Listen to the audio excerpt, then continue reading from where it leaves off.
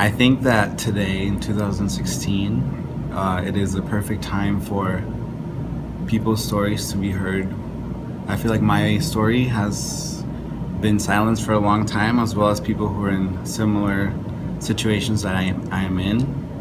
And it is time for us to speak up and let the rest of the world know that we're here and that we are here to make positive contributions to society, to the world, and to each other.